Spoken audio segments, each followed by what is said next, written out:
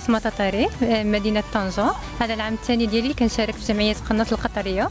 آه، والحمد لله العام اللي فات جيت آه، الثانية. وإن شاء الله هذا العام نجي الأولى إن شاء الله. الحمد لله النتائج جد مفرحة. وإن شاء الله للأمام إن شاء الله.